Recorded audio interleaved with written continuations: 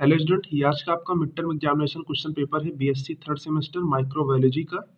यहाँ पर आपको शेड्यूल जो आपका टाइम है वन आवर्स का है मैक्स मार्क्स आपका फिफ्टीन का है। यहाँ पर आपको जो पेपर में कंटेंट्स दिए गए हैं, वो फाइव क्वेश्चन का है। और सभी क्वेश्चन को आपको करना यहाँ पर कंपलसरी है।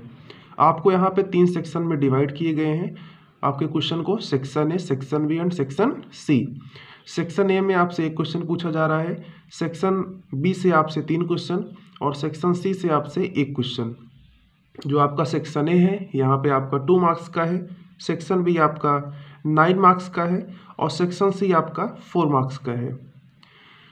और सेक्शन ए को आपको ट्वेंटी वर्ड्स में लिखना है। सेक्शन बी के सभी क्वेश्चन को आपको फिफ्टी वर्ड में और सेक्शन सी के ओनली वन क्वेश्चन करना है और उस क्वेश्चन को आपको नाइन्टी वर्ड में आंसर लिखना है। तो ये देखिए आपका सेक्शन ए का यहाँ पे पहला क्वेश्चन है। इसको आप नोट कर लीजिए, इसको अच्छे से आप पढ़िएगा।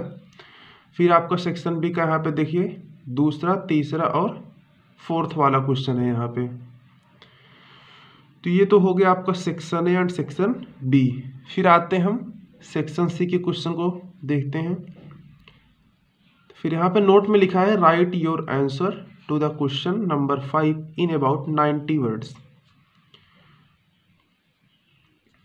तो ये आपका क्वेश्चन फाइव है, जो कि इस मिड टर्म एग्ज़ाम पेपर का लास्ट क्वेश्चन है। तो ये था आपका सेक्शन है section B and section C mid term examination BSc third semester microbiology का question paper I hope video को पसंद आए वीडियो को पसंद आया हो तो हमारे चैनल को सब्सक्राइब करके बेल आइकन को प्रेस कर दीजिए। Thanks for watching this video have a great day